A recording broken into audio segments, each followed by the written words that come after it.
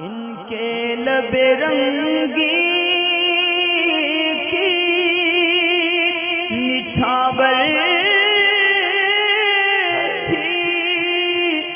जिसने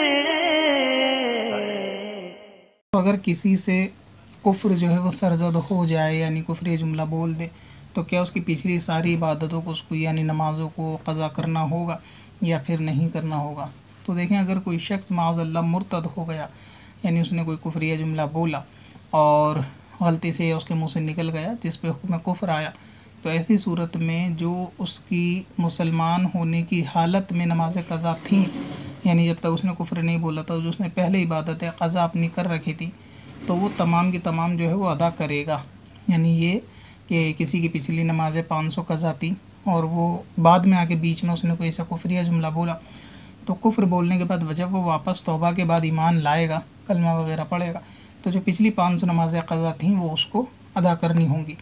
और कुफ्र बोलने के बाद, यानी जो उसकी बीच में इबादतें थी जो उसने करी तो उन सब की कज़ा नहीं होंगी। यानी हालत ईमान में जो पिछली इबादत है उसकी अदा उसने कर दी थी तो क्योंकि कुफ्र बोलने की वजह से वो सब बातिल हो गई तो ऐसी सूरत में वो नमाज़ें, उसकी पिछली ज़िंदगी की तमाम नमाज़ें उसको दोहरानी नहीं होंगी। यानी उनको कज़ा वापस करना नहीं होगा।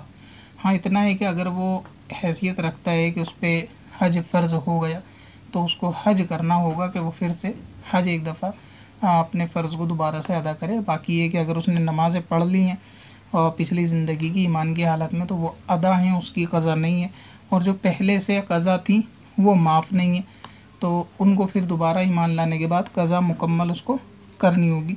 बाकी हज कर ले उन्हें नमाज़ों की या जो रोज़े वो रख चुका है उन रोज़ों को फिर से दोहराने की ज़रूरत पत्थर में असल लाले पुरनवार।